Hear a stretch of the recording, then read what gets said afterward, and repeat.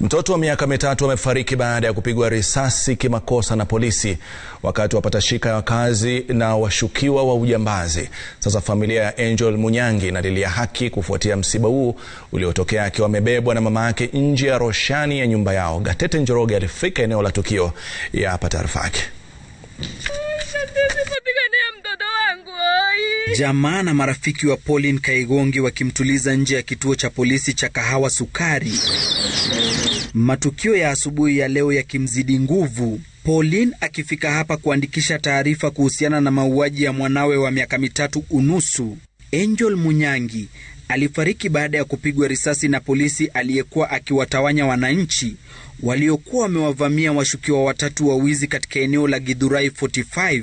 Vile alikuja akiwa mmoja, watu walikuwa wengi wakamshinda nguvu, juu alikuwa anaambia watu waache kupiga hawa watu juu hawajajua kama ni wezi ama si wezi. Akaamua kwa kupiga risasi juu ndio watu wa, watawanyike. Alipiga risasi na hiyo stori hakuna mwenye alijua venye kumeenda. After kukaakaa, tukaona mtoto ametolewa kwa gorofa huko juu amepigwa risasi. Mi nilisikia makelele huko chini, nilikuwa natoka na mtoto, nilikuwa nimemwekelea hapa.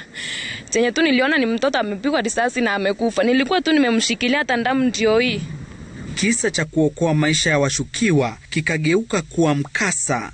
Munyangi ambaye babake ni afisa wa jeshi alikimbizwa hadi hospitali ya Lifeline ambako wahudumu walithibitisha tayari alikuwa ameaga. Kenya mzima nataka inisaidie, Andi Matiang'i Kwenyako anisaidie mtoto wangu apate justice. Mtoto wangu amekufa tu bure asubuhi saa mbili. Kulingana na afisa mkuu wa usalama eneo la Ruiru Phineas Ringera, afisa aliyefyatua risasi tayari amekamatwa na uchunguzi unaendelea. Ile silaha alikuwa anatumia imechukuliwa na itapita kawaida vile huwa tunafanya katika hali ya uchunguzi. Ile kitu ningeambia familia, ningeomba watulie na kutakuwa na haki na hakuna kitu ya kuficha. Washukiwa hao wengine watatu pia wakizuiliwa na maafisa wa polisi, wito ukitolewa kwa wahudumu wa bodaboda kutochukua sheria mikononi wakati wa visa kama hivi na kuwataka kushirikiana na polisi kudumisha usalama. Cha muhimu kwa familia ya Angel Munyangi ni kuona kuwa haki imepatikana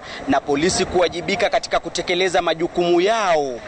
Gatete Njoroge, runinga ya Citizen, kaunti ya Kiambu.